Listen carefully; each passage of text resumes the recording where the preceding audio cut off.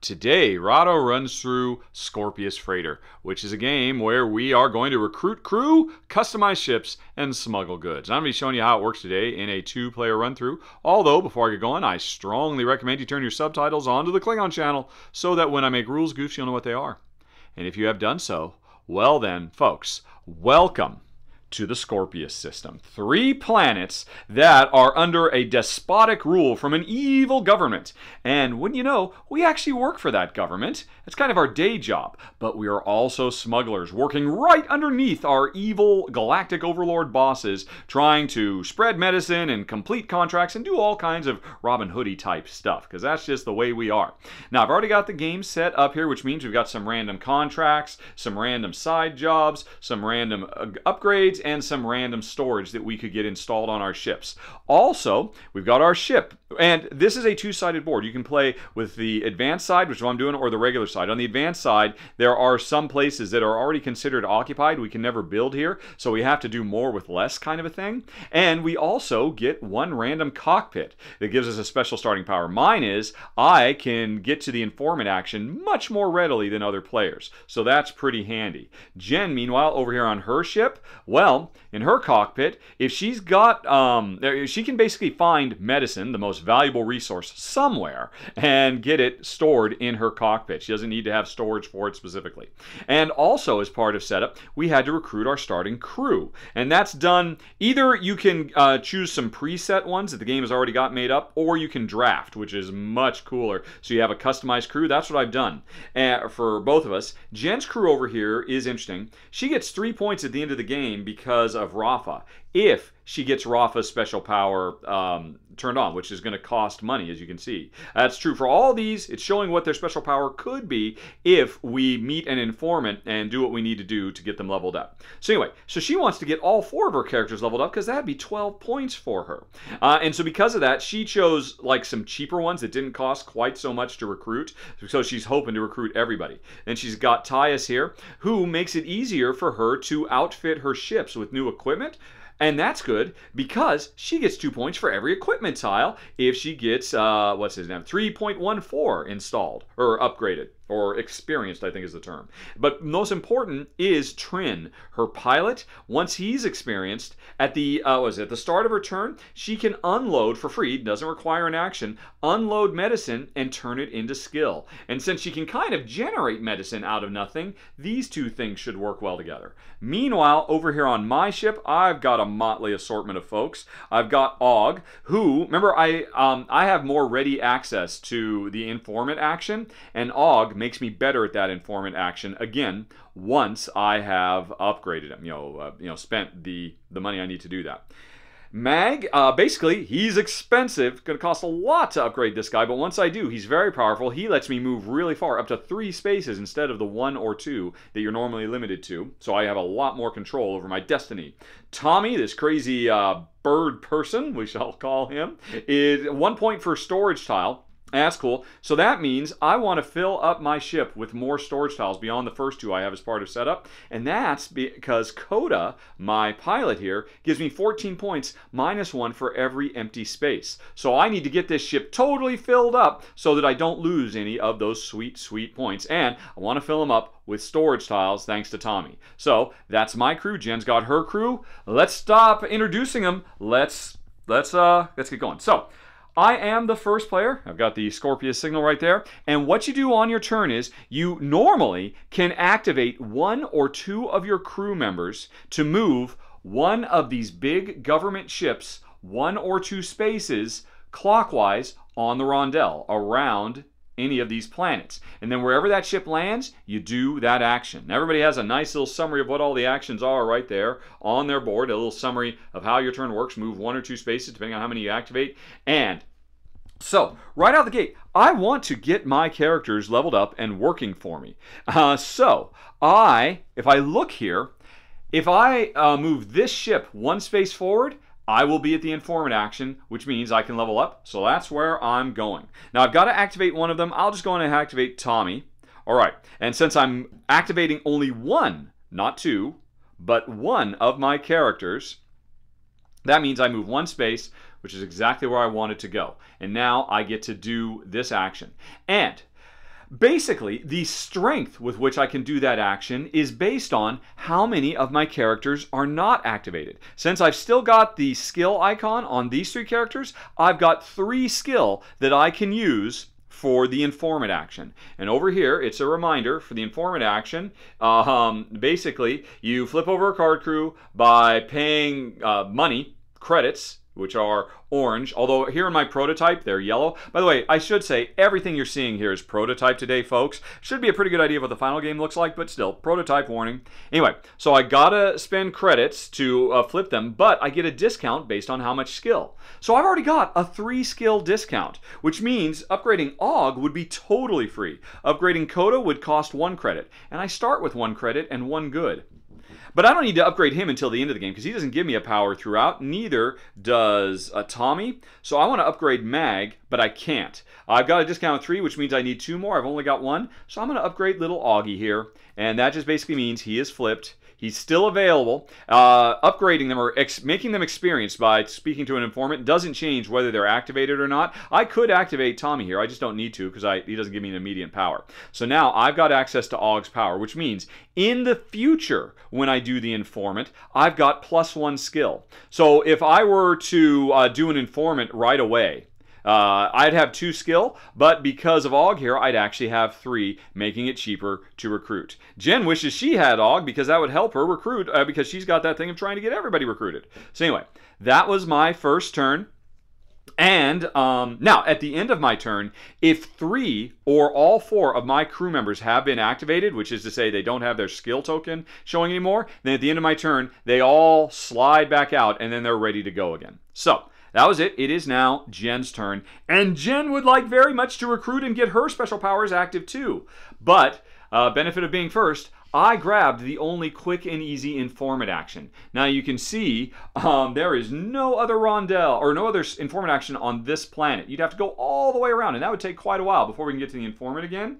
And if we look over here on this planet, we're, we start out, the ship starts out, this is a starting spot, on the informant. So it's got to go all the way around.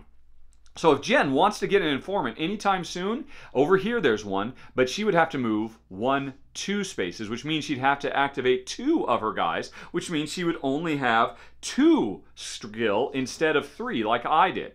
So is she going to do that? Is she going to do that? Well, who she she would like to get Trin activated so she could start leveraging his uh, medicine uh, power. Um, although she'd like to get Tyus updated too, so that she will be better at installing equipment, which she wants to do because of three. All right, so yeah, I think she will. She will activate two characters. What the heck? She'll activate Rafa and three, and uh, that means she can move two.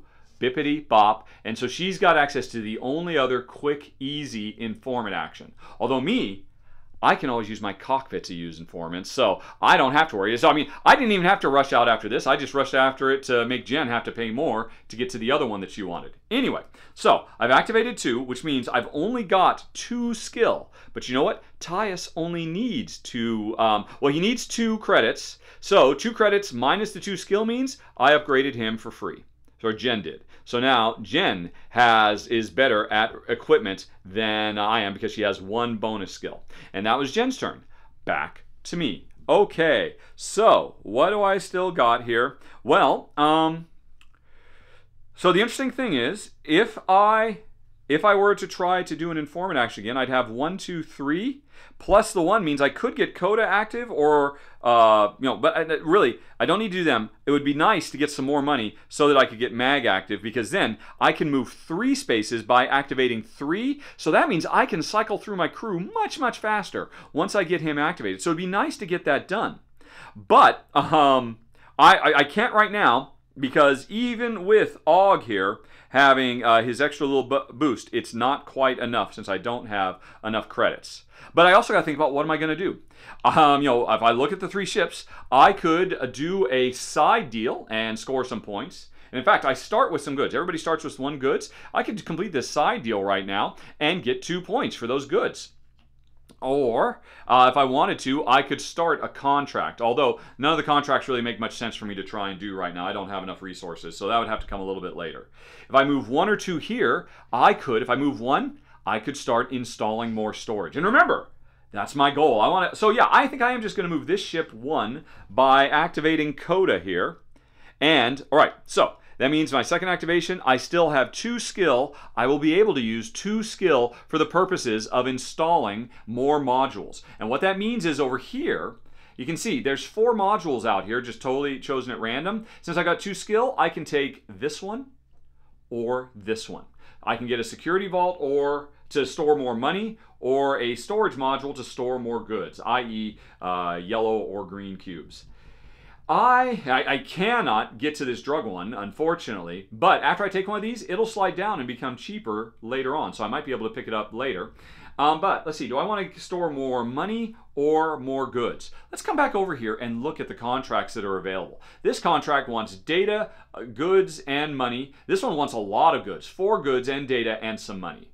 And the thing is, after I complete this contract, I'll get the benefit of get, instantly getting two of any I want and storing them on the contract itself. So that's pretty cool. So, I mean, this thing basically, it costs two resources left because once I've done it, I'll get a bunch back. Plus, um, there are four, eight, 12 points to be had for completing it. So, but it needs a lot of goods. I think I'm going to take this goods storage module. This is the one I'm taking. And now I have to expand it from one of my existing occupied spaces. And I will expand it right here.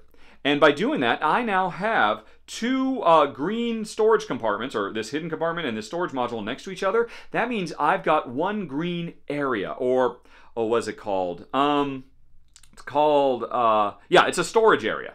I have two storage areas on my ship. I've got this storage area that's comprised of one, but since these are the same, this is considered a separate storage area.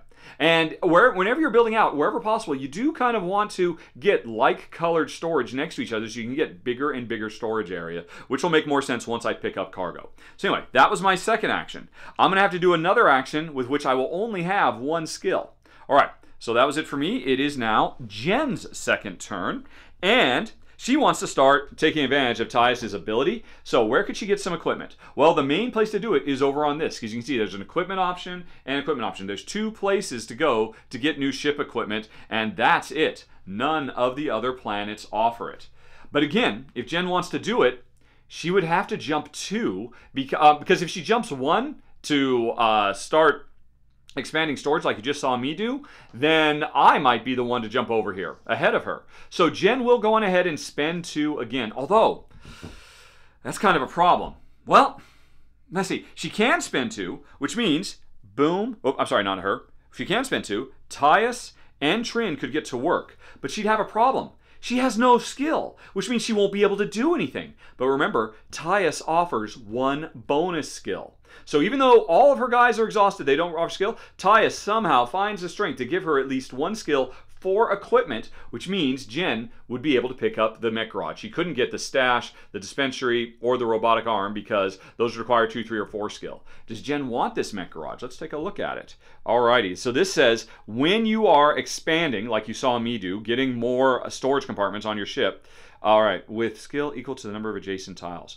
Oh, so this makes it easier. This this basically is another skill boost. So um, where wherever you're putting stuff down with this, you could uh, get more expensive stuff while not having the skill for it. So this basically bumps up your skill for installing storage modules. So that's nice. I mean, sure, that's nice. But is that what Jen wants? Is that what Jen wants? Because if Jen just waits until her crew resets, then she could go for something really big. Like, this is what she really wants. She wants this dispensary because, boom, then there's more medicine storage, which would dovetail with Trin. So, let's see here. Would she do that? Yeah, I think she will. She is only going to do one. She'll go on ahead and activate Tyus, which means she's only going to move one space. And she's moving here. Oops, by the way, I forgot. After I got my storage, the other ones got cheaper and a new one came out. And it's another security vault which are really the, the two most common things. Ways to store credits, ways to store goods. These medical ones are a bit rarer. So anyway, so um, Jen is just going to get herself some additional storage as well. She has only one skill at that, so she will get this security vault. And she will expand her lockbox, so now she has an area devoted to green goods and an area that's too big devoted to getting more credits. And again, these slide over, a new one comes out. Hey, it's a server farm, some sweet data. That's our first opportunity to actually get data, which is necessary for a bunch of these contracts and for a couple of side deals. But right now, it's very expensive. It costs four skill. So that was Jen's turn. Now, I should say, at the end of Jen's turn, she, three of her four crew are all tuckered out, which means they all reset. So Jen is starting out her next round with a really big uh, move that she can make. Whereas me, I'm still kind of limping along over here uh, because now I've got to activate one or two. I could activate one or two, and then at the end of my turn, I'll get them all back. What do I want to do? Well, let's see here. Whatever I'm going to do, I'm only going to have one skill. That's not entirely true. I could have two, if I went like this, I could have two skill if it was an informant action, but I can't get to an informant right away, can I? Uh, let's see. No, I can't. Remember, they're all so far away. But I do have another option. Where are they? Um, right. Oh, it's when I want to operate my freighter. Right. So, yes. Yes, I'm going to do it. Am I going to do it? Will that'll be two? Will that be enough? Then I'll have three? No, it won't be enough. Ah! It'd be so cool. I could almost pull this combo off. If I did this, uh, which lets me move one, I could move this ship here. Now, this is the action that says activate the special powers of my ship. The only special power I have right now is the cockpit. And the cockpit says do an informant action with a skill of zero. But it would be zero plus one plus two, so I'd have two total skill. I could do an informant action. So that's two skill plus one credit means I have a total of three. I need more than three to upgrade anybody, so I can't pull that off. That would be a really great combo. I'm just short by one coin. So, you know, maybe, maybe I should start loading up some cargo. That, I mean, you know, we're smugglers after all, right? So maybe I should be doing that. Now, uh, that would be this action. So if I spend two, I could jump here. But if I spend two, I've got no skill. So I can only spend one. I mean, I've got to spend one, which means then I could get some equipment. I could spend one to activate my ship. Although, again, as I just said, it won't necessarily work. Or I could spend one to come over here to complete a side deal. It's not where I was after, but what the heck, I'll do it. Yeah, I'll do it anyway. So mag over here activates to move me one space and I'm going to do a side deal. These are the ones that are available. And basically, the more skill I have, the more of these I can complete in a single action. Remember, I only have one skill, or two if I were doing uh, an informant, but I only have one. So I can only do one of these. I will complete this side deal, which requires one green good. And so I've spent it. I've scored two points. Hooray! I actually did some smuggling, everybody. And let's see. A new, all right. And so I, if I had more skill and I had more goods, I could do more. But as it is, I'm just going to end it right there. And a side deal requiring another good comes out. All right. So that was my turn. And now, like Jen before me, all of my guys are available, so I can start going for big actions um, once more. Although it is Jen's turn. And folks, I'm going to stop right there because that gives you a basic idea of the flow of this game. But I've only barely scratched the surface of all the cool combo chain stuff and whatnot you can do. So if you would like to watch a bit more of Scorpius Freighter, you can hit that eye up in the top right corner screen to go to the extended playthrough, or instead you can go to Final Thoughts. Your choice in five, four, three, two, one.